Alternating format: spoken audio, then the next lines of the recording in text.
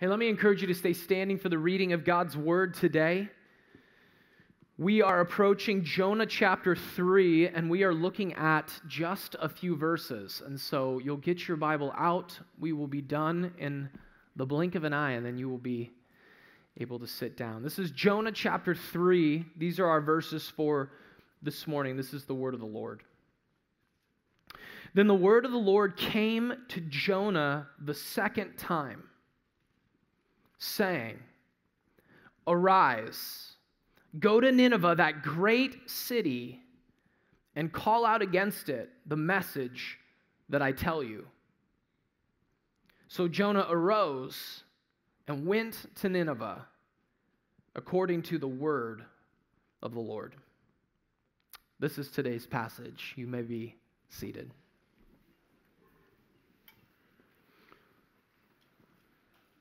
Good morning, good morning, good morning. Everyone doing well? Great. Few of you are. That's all I care about. Just the few that responded. The rest of you, tough luck. I don't know what to tell you. Um, just want to say hi. I'm Pastor Scott. I'm one of the uh, pastors here, the lead pastor at Doxa, and uh, joy to have you here today. And so if you have your Bibles, why don't you grab them? That's what we're going to be doing for the rest of our time is we're just going to dive deep into God's word and uh, into Jonah chapter 3 is where you're going to be. It's one of those minor prophets, so it might be hard to get to, but just lean over to a neighbor. People at Doxa are nice for the most part. Right, church? Yeah, willing to help, willing to help. And listen, if you're online watching, I can't get you there, but you got a table of contents, and we'd love to have you get to Jonah. And we're glad that you're watching online and uh, grateful for this opportunity to use technology in this way so we can be together even as you're apart from us here. And uh, just grateful to be in this series. It's a series called Sent. And the whole idea of this is man, we have so many things in our heads that get us off mission. And Christians need to be on mission. Sometimes the reason why our Christianity doesn't really come out that clear is because we aren't actually on the things that God wants us to be on. And so we're making very clear that our church exists to glorify God by making disciples of Jesus Christ. And if we're going to make those disciples the way Jesus wants them made, we're going to make them of all nations. So you've seen that emphasis in this series, right? Started in translating a book of the Bible to a people group that did not have really any of the Bible in their language. And in nine days, our church funded that entire project. Praise be to God. Do you want to clap about that? I think that's awesome too. God is good. And then we pivoted because, in the providence of God, we've had this scenario going on in Afghanistan where immediately we jumped on that train and said, We're going to help our brothers and sisters. We're going to help people who are going to be displaced in the midst of all that's going on. It got worse this week, didn't it? Let's be praying for these people. Let's be praying for our brothers and sisters. What doesn't hit the news is what they're doing to Christians who hold fast to the name of Jesus Christ. So let's pray for their strength. Let's pray for their peace. Let's pray for that heart of Paul that says to live is Christ, but to die is gain.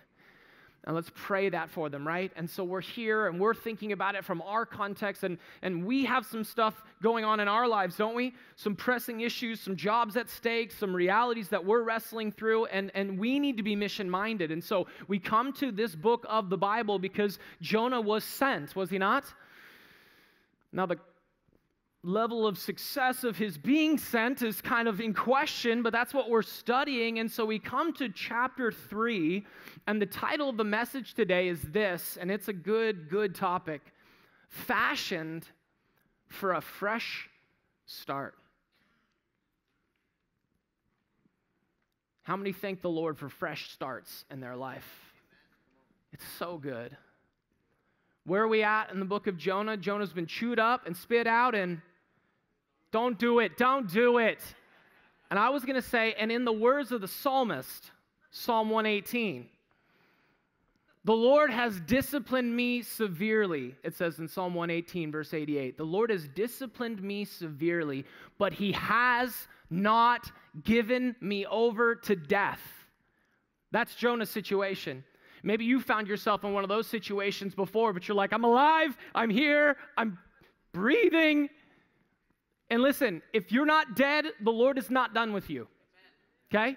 If you are here and you are taking in air, God wants to speak to you through His word today. He wants to, well, Jonah's going to get a fresh start today by God's sheer grace. But what I need you to see before we even get to that and how do we approach fresh starts in our lives, I need you to see that God fashions you for fresh starts even in your failures.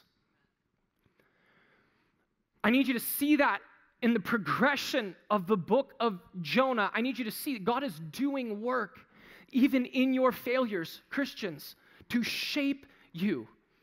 What I mean is, if you look at the story of Jonah so far as we have it, Jonah's botched obedience has not deterred God from shaping his servant for service. Personalize it a little bit.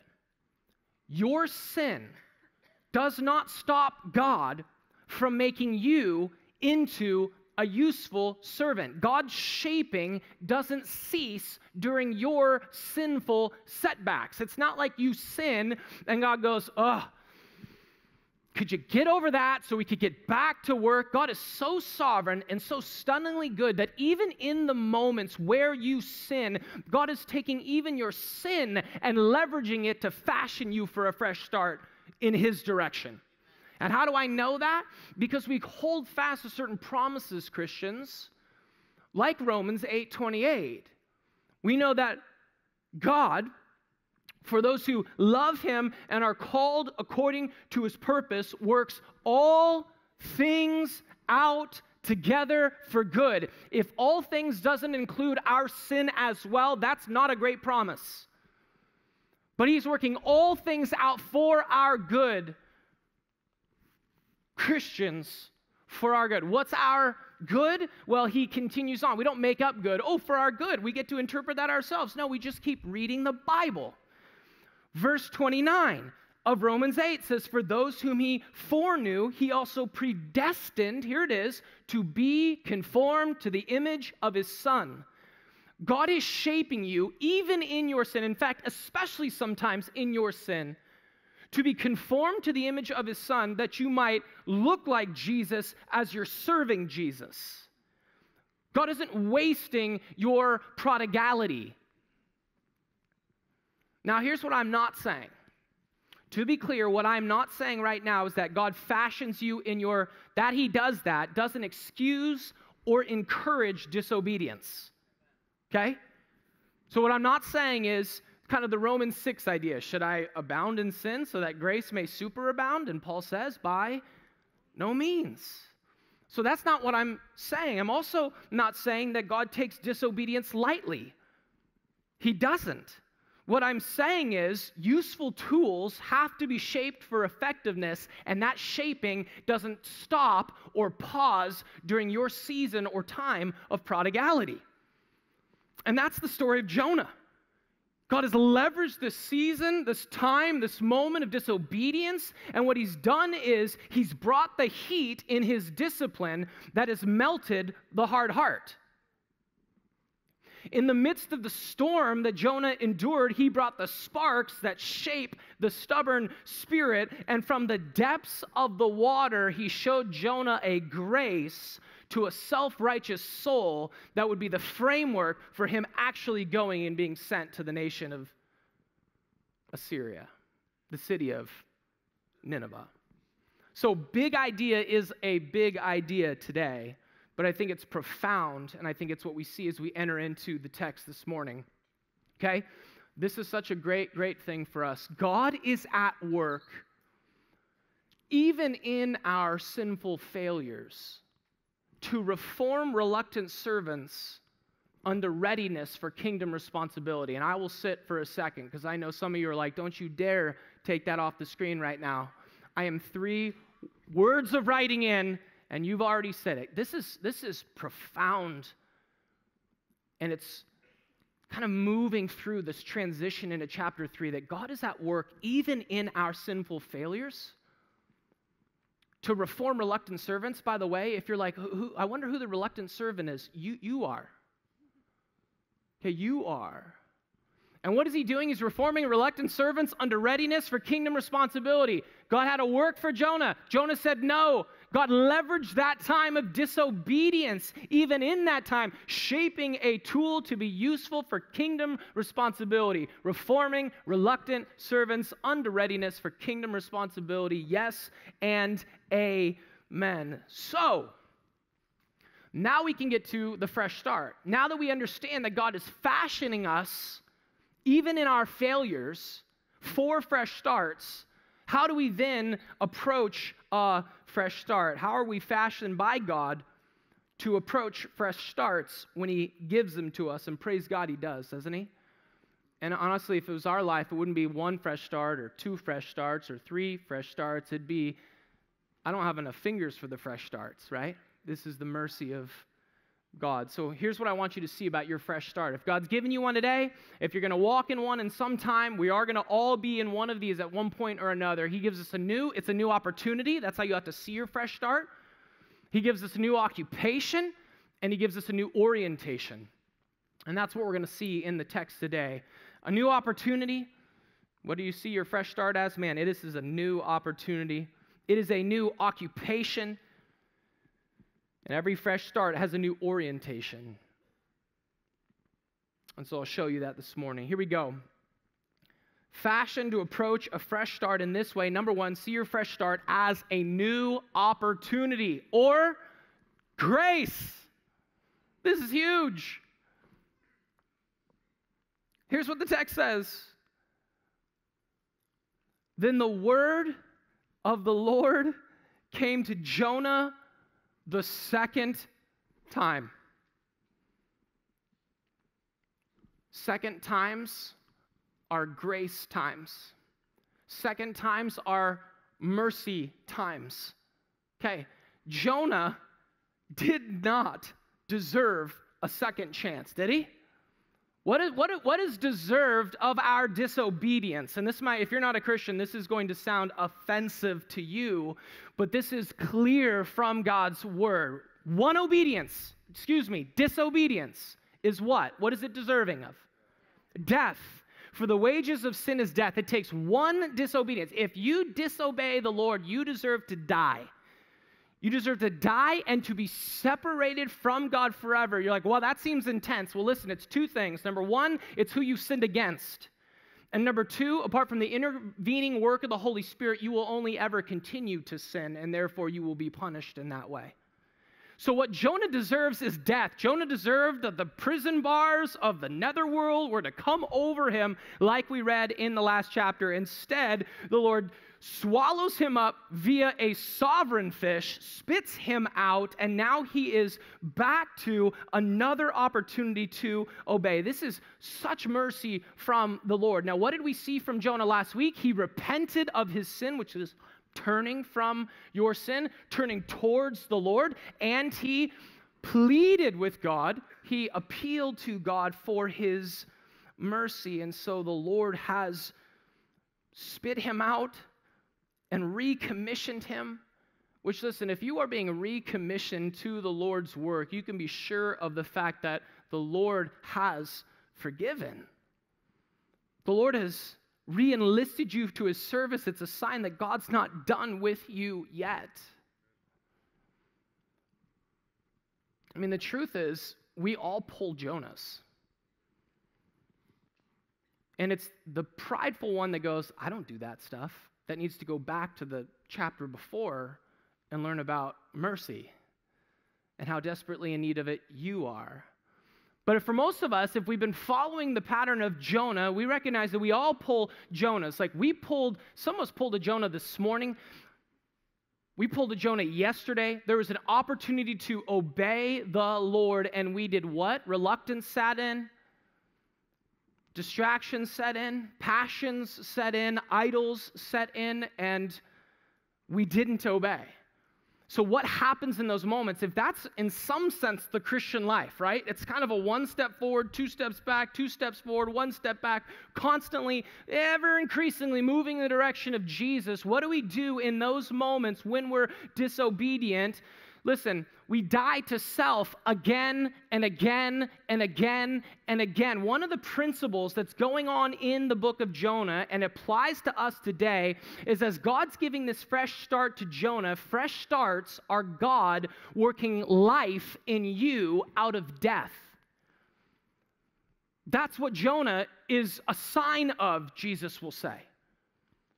That as God worked life out of Jonah's death for the sailors, and as God will work life for the Ninevites out of Jonah's death, so Jesus will come, dying not for his own sin, but truly dying in the place of sinners, that by his death we may be brought life.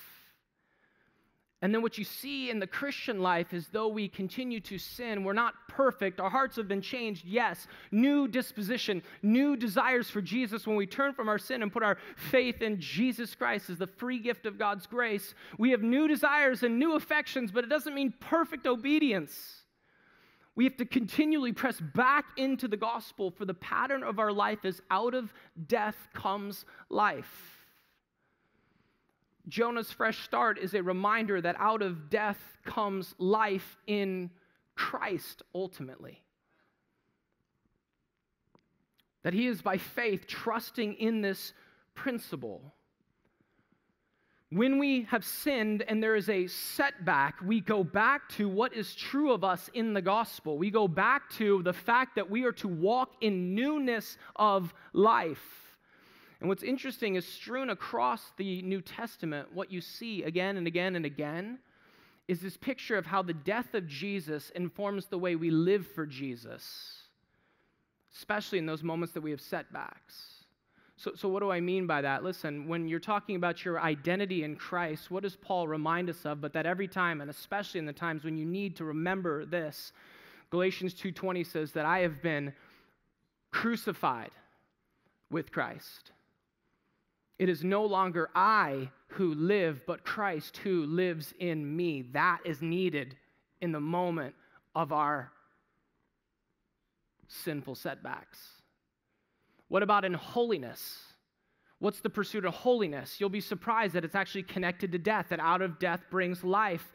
Paul says that we ought to present ourselves to God as those who have been brought from death into life.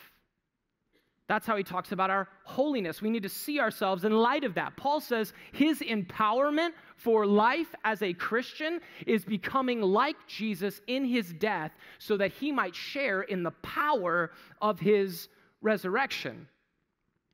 When you think about evangelism and how Paul saw evangelism, he said it like this in 2 Corinthians 4 He's always being given over to death so that the life of Jesus may also be manifested in our bodies. Death is at work in us, but life is at work in you. In one of the parables, Jesus is speaking about in a transition, unless a grain of wheat falls to the ground and dies, it remains alone. But if it dies, it bears much fruit. This is the Jonah principle at play, now about to be fleshed out. The word of the Lord comes to him a second time. How does he respond? Out of death comes new life. And for us, we see that as hey, man, we have died to ourselves in that sinful thing. We have repented of our sin, but now we move forward. And as we move forward, we move forward trusting in the death of Jesus to atone for our sins and by his new life through G- our new life through Jesus Christ, we walk in confidence and in power and in hope that God will leverage our dying moments that we may bear much fruit and so prove to be Jesus Christ's disciples. We see this as a new opportunity. God's graciously giving it. And it's the principle of death producing life that just makes its way through the pages of this letter. This is all grace from the Lord. What grace? A fresh start sees it as, we see it as a new opportunity. God's grace all over our fresh starts. Out of death, we've died to self, we've repented of our sin, we're moving forward. Now we're walking in that newness of life. Then he transitions here and continues with the statement. What's the second uh, aspect of a fresh start? How do we approach it? Not just a new opportunity, but we see it as a there's a new occupation for us. There's a new occupation we lay hold of. When we've sinned and we enter back in for a fresh start, we have our mindset on one thing. We're looking to please the Lord Jesus Christ in our obedience to him. Notice what the text continues and says Then the word of the Lord came to Jonah the second time, saying, Arise, go to Nineveh, that great city and call out against it the message that I tell you. Does that sound familiar?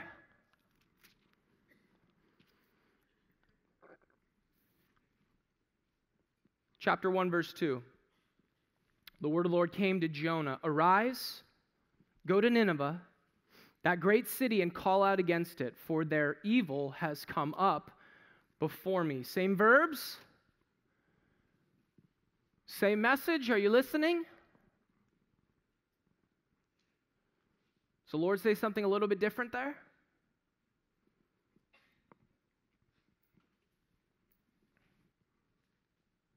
Seems like the Lord's saying something slightly different. Seems like the first time Jonah is given the reason for the mission. Arise, go to Nineveh, that great city, call out against it. Why? For their evil has come up before me. This time, the stress is on something different. It's on delivering God's words, saying exactly what I want you to say. In other words, arise, go to Nineveh, the great city, and call out against it the message that I tell you in the first instance, we get this understanding that the message was given to Jonah. In the second one, the emphasis is on you need to be in lockstep obedience to me. I haven't told you exactly what you're going to say, but you're going to go and you're going to say exactly what I tell you to say. By the way, that's just a good philosophy for preaching. We don't need to fluff it up. We don't need to make it cool. We don't need to make it relevant. We don't need to change it to make it acceptable to people. You need to preach it as it is, exactly what I tell you to say. He's focusing on two things that are crystal clear that he wants lockstep obedience in. Number one, preach exactly what I tell you to preach. Number two, do it in Nineveh. But here's how we play games with God. Ready? Obedience is not preaching exactly what God tells him to preach somewhere other than Nineveh. You're like, got it, Lord. I'll pick the location, but I got it. No, no, no, no. Proclamation and place are part and parcel of the obedience call here. Same thing is true on the flip. You're like, cool, got swallowed by a fish. Now I'm down to go to Nineveh. Sounds good, but I'm going to preach something a little bit more. I don't know if this is going to work with the people. I don't seem to particularly be fond of our God. So, you know what, Lord? Got it. I'm going to give my kind of rendition of it. That's also disobedience. He's made it crystal clear. And the reason why I'm harping on this is because obedience begins with God speaking and you hearing exactly what he says. You need to listen closely. You need to study deeply. You need to not be like Eve, who was trying to explain what the Lord had told her about the tree. Do you remember that? And Eve's like, Got it. crystal clear. Not supposed to eat of that tree or touch it. Right? Now, is that what the Lord said? No, she added to the word of the Lord. It turns out we have this, sometimes we have this confidence that we know what the Lord means, but we really don't know what he means, or we've heard more than what he's actually said. And if we're going to be obedient, it starts with active listening. It starts with getting our attention onto the text, the word of God. Did you did you know this? Did you know? Did you know that in scripture, hearing and obeying are basically inseparable. Did you guys know that? Do you know when the Bible says hearing in the Old Testament, do you know the exact same word for hearing is also the word obeying in the Hebrew? It's like two sides of the same coin. Did you know in the Greek that the word for hearing is akuo? And the word for obeying is hupakuo, which is essentially to hear under, like come under in submission to and walk out. This is the desire of the Lord. Truly, what he's saying is you can't actually listen truly if you aren't obeying completely. You're like, well, I'm listening, Lord, I'm listening, listening. Are you obeying? No. Well, then you're not listening. I think sometimes we get ourselves off the hook because it's like, oh, I'm listening, I'm listening, I'm listening to the Lord. Getting a lot of weird messages, but I'm listening. You obeying any of it? No. Well, that's a problem. The point of what seems to be clear of God's word from beginning to end is that in God's mind, hearing and obeying are one in the same. Let me ask you, how is your hearing of God's word really? Like when we think about coming back to a fresh start, we need to think about coming back to basic principles of Christianity. You coming back to a fresh start, you have died to yourself again. And we're going to die to ourselves a lot in the process, right? We're going to repent of our sin. We're going to walk in newness of life. What is the first thing God wants us to do? He wants us to please Him in obeying Him. That's what He wants us to do. And I think sometimes we can get ahead of ourselves. I've been a Christian for that many years. I don't even think about it that simply. And yet we ought to think about it that simply. You think about examples with Jesus, with the parable of the two sons, for example, right? Father goes to his son, asks one of his sons, Hey, I need you to go work in the field. His answer, No, yes. right? Starts with a no. Then he figures it out and he does what? He does it. Then he goes to his other son, right? His pious son. And he goes, Son, need you to go work in the vineyards. Yes. No. Jesus asked the specific question which one of these did the will of his father? Answer the no yes guy, right? The no yes guy, because ultimately he was obedient.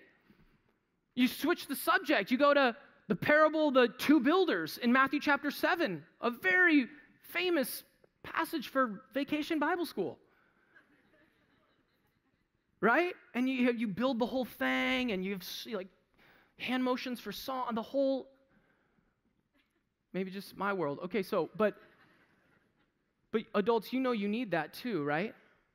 There's two types of people. One builds their house in the sand, one builds their house in the rock. The difference is both have heard the word of God, but one's actually really heard the word of God. Do you see what I'm saying based on what I've been saying? One has heard the word of God and decided not to do it, so the storm comes and the flood comes, and bam, the house is completely wiped out. The other person hears the word of the Lord and obeys, and their house is like a, rock, on, a house on a rock, so that when the flood comes and the storm comes, it is not swept away. We're to be like that.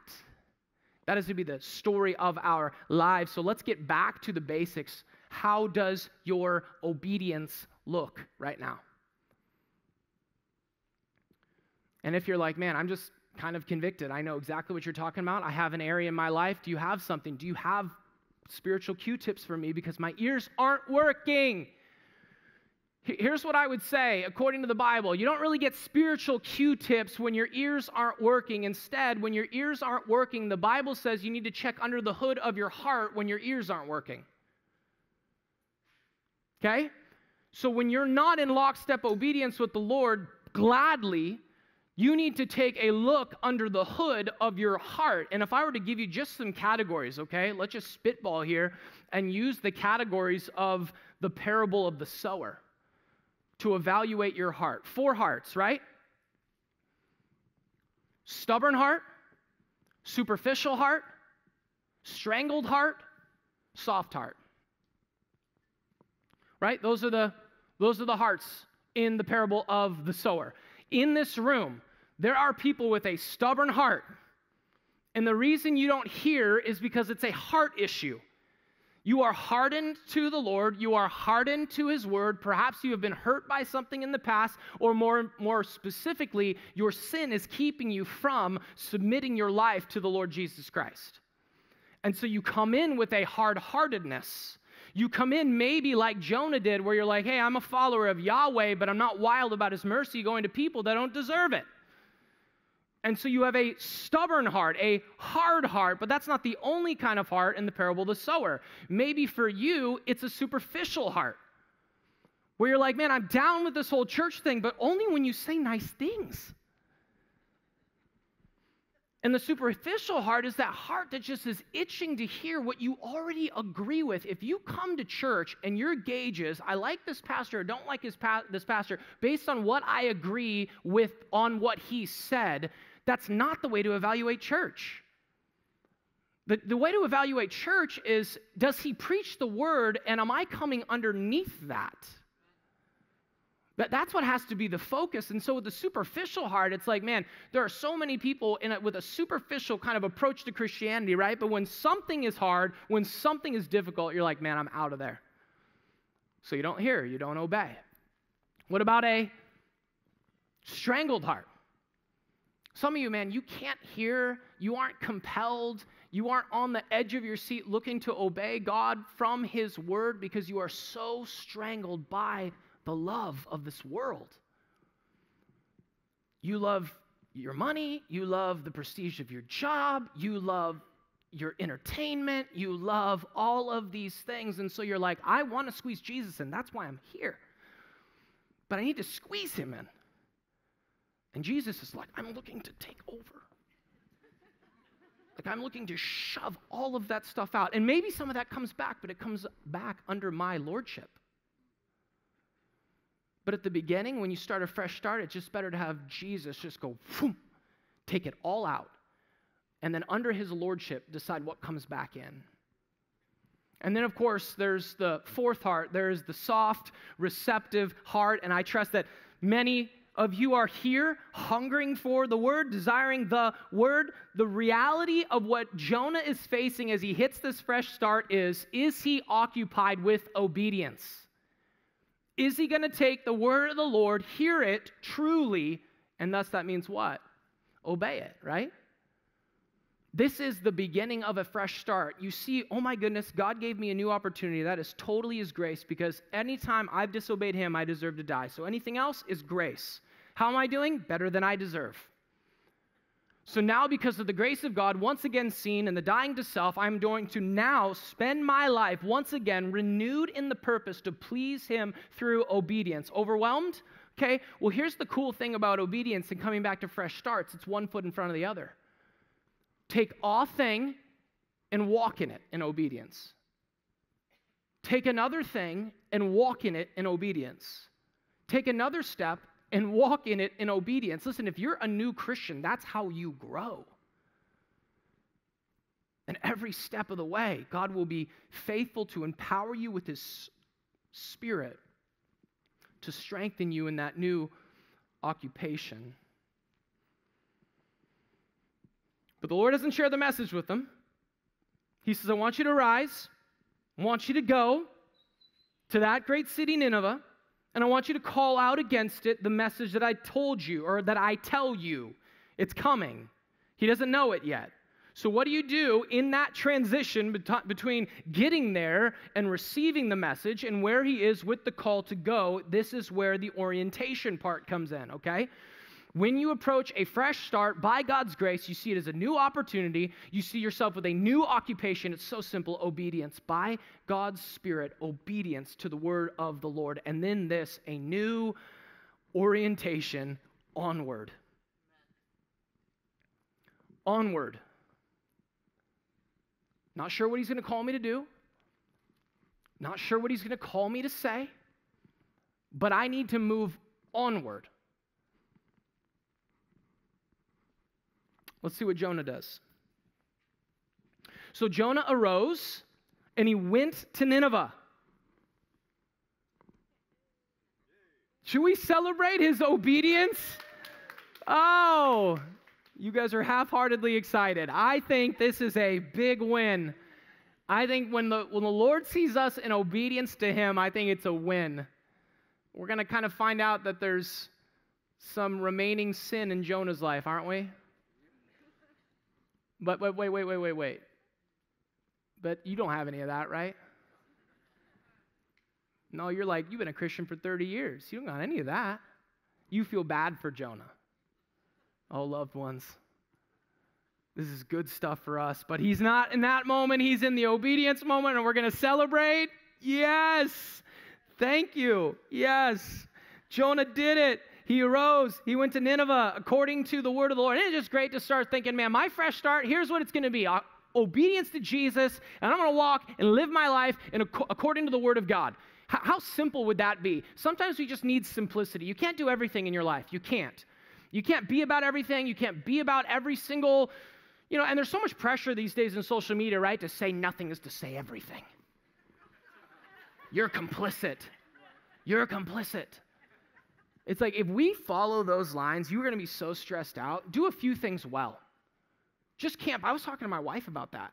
There are so many things that I want to do and want to see build out of our church and schools formed and, and churches planted and all of this stuff. And at the end of the day, I do not want it to stretch me out from this church being healthy, our marriage being awesome, and our kids growing as much as we're able to lead in that process them towards Jesus.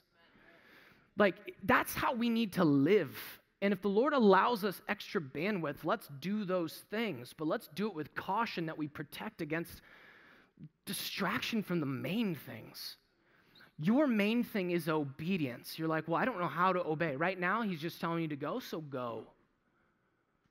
He's telling you get your Bible in front of you again and read it, and just one aspect of obedience from the text today. What is God calling you to do? Go walk in it.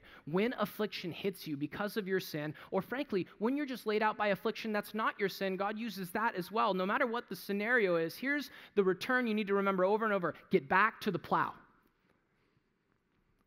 Go back to where you were when the problem occurred. Okay? So if God calls you to something, and then he outs you in a tremendous chastisement of his grace in a storm, and then spits you out onto dry land, your first thought should be go back to where the disobedience was in the first place. Go back and do something about that. You know, um, I preached um, Jesus' uh, words to the church in Ephesus in the book of Revelation. And what does he say to them? He says he, they had lost their first love, but what is his call? He says, I want you to go back and I want you to do what? The works you did at first. I need you to go back to where you were disobedient, and I need you to do the opposite thing this time. That's what I want you to do. Do what I've asked you to do. Now, here's what makes that hard. Here's what makes that hard for us lingering self pity makes that hard. Massive regrets about letting God down makes that hard. Have you felt that?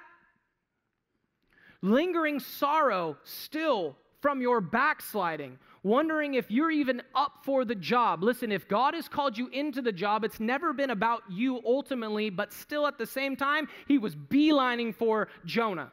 So He's not thinking there's something special in Jonah, but He wanted something done through Jonah. And so He comes back to Jonah and the question is, what's our response going to be? Not lingering. Use all the lingering sorrow to walk forward when you don't know what the message is going to be by faith. Do what Paul does, and we covered this in the small group training yesterday. Do what Paul does in Philippians 3 when he goes, Listen, one thing I do, one thing I know, forgetting what lies behind and straining forward to what lies ahead. What I'm saying is do not wallow in the waywardness of your yesterday. Take the mercies that God's given you, which, by the way, He has given you tremendous mercy if you're still here and still breathing. Wages of sin is death. That's justice. Everything else is grace. If you're still breathing, you're living in God's grace. Take that mercy, take soft hearts that lead to open ears Listen to the word of the Lord and by grace strain forward in grace driven obedience. That's what Jonah's doing. He arose and he's going. And the idea of these two verbs, he arose and he went, they carry with it this intensity of determination. One thing, moving forward in obedience. That's all I'm going to do. That's what my Christian life is going to look like right now. I am going to move forward in obedience.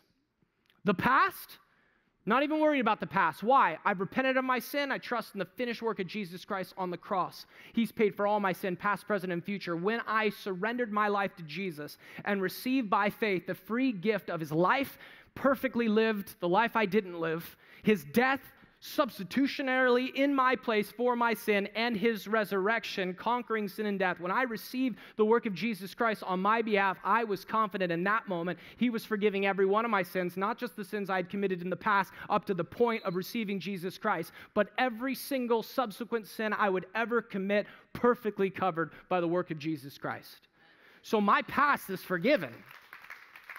I don't have to worry about it. I don't even think about it. I forget what lies behind. Instead, I strain forward to what lies ahead, and I do that empowered to go a new way, not west like he went to Tarshish, which is the comfortable route, but northeast, which is the way to Nineveh, the missional route. God's calling you to mission. God's calling Jonah to mission. And fresh start obedience on mission to Jesus will be costly. The question is have you counted the cost? He's somewhere 500 miles away from where he needed to be. Okay? And he didn't have a car or a plane. So he's schlepping it like 25 miles a day, which would be a good pace. How many are like 25 miles? And I, that's one mile for 25 days is a lot. This would take like a month with pristine physical fitness. There's a cost to this. There is a reality to this as he's approaching with every step of what he's going to be doing. Following Jesus in obedience leads you to mission, and there's going to be a cost to that. The question is, where does the strength come from to make that sacrifice? And again, I draw it back to the whole driving purpose of this book is mercy. It's God's mercy. It's the driving force behind the gospel. Once you know the gospel, once you've seen it in its fullness, this is why Paul says in Romans chapter 12, therefore I appeal to you, brothers, by the mercies of God, to present yourselves as living sacrifices. What mobilizes that kind of life? It's mercies. Jonah didn't go the first time with mercy because he didn't know mercy. Jonah wasn't able to extend compassion because he had no comprehension of his own sinfulness. He had no comprehension of what it felt like to be separated from God, and he definitely, therefore, had no deep understanding of what it's like to be just consumed by the grace of God in Jesus. Now, of course, he would be trusting in the promise of the Messiah to come, but we, in knowing and seeing Jesus for who he is, that's what it should look like for us in Jesus Christ. Mercy mobilizes us. That's what we've been talking about. So, what's the direction onward? What's the mission? Preach what God tells you. What's the word? I'm not sure yet, but He says He'll supply it. So I go trusting Him. Isn't that the life of the Christian? Isn't that how we should live? He, he's gonna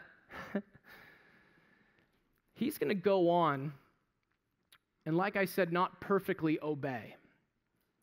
He's got remaining sin wrapped around his heart like the seaweed that was wrapped around his face in the ocean.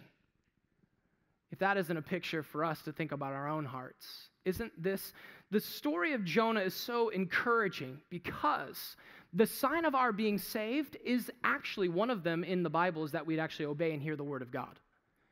But isn't it tremendous that we're going to learn through Jonah that he's going to botch some moments of obedience and um, we're going to botch some moments of obedience too? But yet, at the end of the day, what's going to make our evidence of salvation clear is that we return to the Lord, open ears, soft heart to obedience. That will be the sign. Not the perfection of our lives. That isn't the point, but it ought to look like a pattern ever increasingly in obedience. Yes, we will have slip ups, but then we die in that moment again We receive the power of Jesus' death in our place in his subsequent resurrection to remind ourselves we are no longer who we used to be. We are no longer even here. It's God who lives in us. And therefore, by the power of the Holy Spirit, through the work of the mercy of the gospel, we go forward. And of course, in this, it sets the stage for a move of God. A kind of revival is going to break out through this reformed, reluctant servant whom the Lord has made ready for this kingdom responsibility. Let's pray.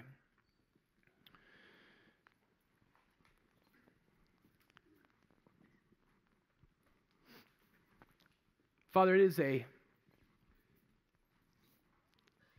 a really helpful picture and image to think about going back to a start, to the start, and thinking, man, what do you require of us but grace driven obedience? We know this is all by grace to begin with. Every fresh start is an opportunity to see it for what it is, which is your grace. You're getting us an opportunity to be restored right back into that, re enlisted to that work. And it starts as simply as one foot in front of the other. One step of obedience to another step of obedience to another step of obedience. Little by little, accumulating in our life until that becomes a pattern. Yes, there are setbacks, but God, I'm praying for patterns. I'm praying for consistency. I'm praying for these people here, for all of us, for myself, that when we stray, we would repent and return and re engage. Open ears, open heart, willing obedience. Where you send us, we'll go. What you want us to say, we don't know, but we trust you. Father, I pray that you would just continue to draw lost people to yourself, that they might see in Jesus a tremendous grace, a God of many chances. May there be a reminder of your kindness and your goodness and your mercy. And would you draw people to your Son, Jesus Christ, that they might turn from their sin, call out to you for mercy, which will be abundantly theirs should they come to trust in the person and work of Jesus Christ. So, Father, do that work that I can't do in the hearts of those here. And we pray this in Jesus' name. Amen.